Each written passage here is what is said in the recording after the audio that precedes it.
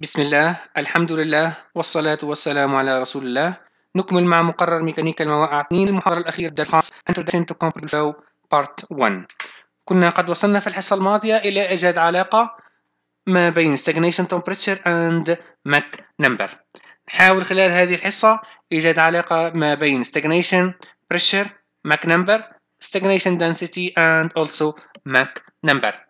بما أن العلاقة هذه أوجدناها في الحصة الماضية فراح نعتمد عليها لإيجاد العلاقتين اللي بعد فهنا نعرف بما أنه adiabatic process adiabatic process يعني إيش؟ يعني أنه البريشر في temperature أس K minus 1 على K تساوي لي constant فلو أخذنا العلاقة هذه ما بين stagnation state and actual state.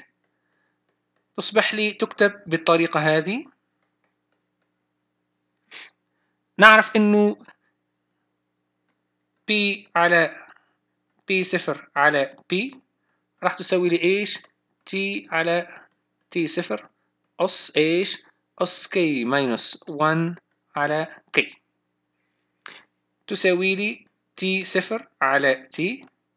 أس k على k minus 1 قلبت هذا هنا فنفس الشيء نقلب الأس فإذا هنا إيجاد العلاقة t صفر على t تساوي المعادلة هذه.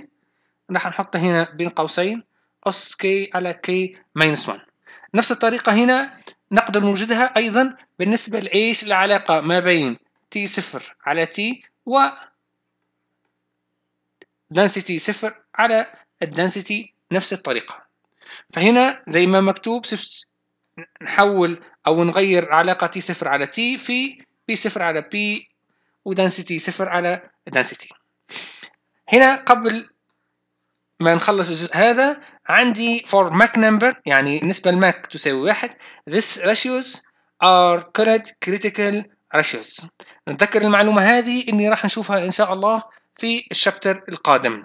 Mach number تساوي واحد فهذا يعني critical ratios آخر شيء في هذا الدرس إنه when using stagnation enthalpy there is no need to explicit use kinetic energy ليش؟ لأنه شفنا إنه H صفر تساوي H plus V تربيع على 2 فإذا استعمال H صفر يغنيني عن إيش؟ عن kinetic energy فإذا لو طبقت قانون الأول للديناميكا الحرارية energy n تساوي energy out qn plus wn plus هنا h01 plus dz potential energy نفس الشيء هنا stagnation enthalpy أيضا plus potential energy زي ما قلنا هنا h01 h02 هما stagnation enthalpy at state 1 and 2 or enter and exit if the fluid is an ideal gas نعرف انه ideal gas إيش الانثالبي تكتب h تكتب cp